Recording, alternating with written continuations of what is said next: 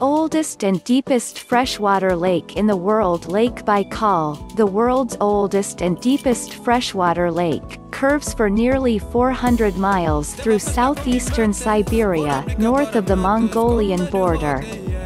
Lake Baikal is nothing short than a natural wonder.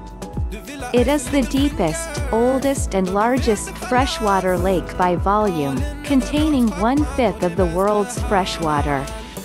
The 25 million old lake has a maximum depth of 1,642 meters and is a living museum, boasting approximately 1,700 animal and plant species, out of which two-thirds are endemic.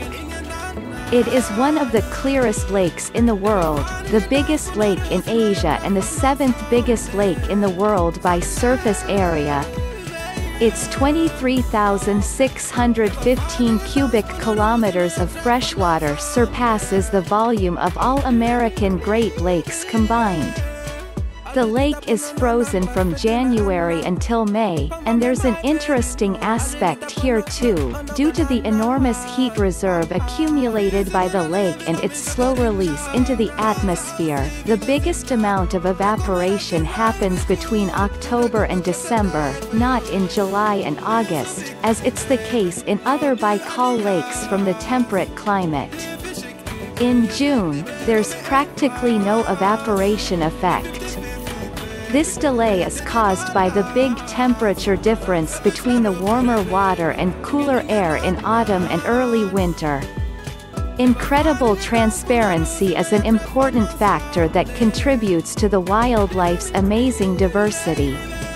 The presence of light to this depth enhances photosynthesis and plant life.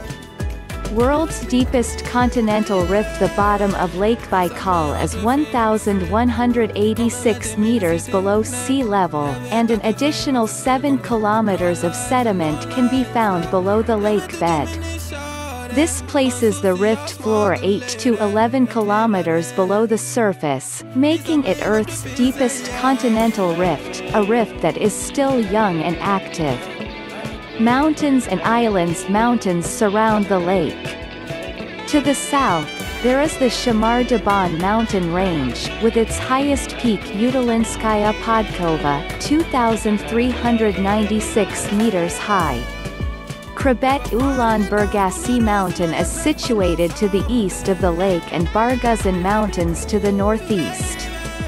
Please subscribe to our channel. A special thank you from the heart.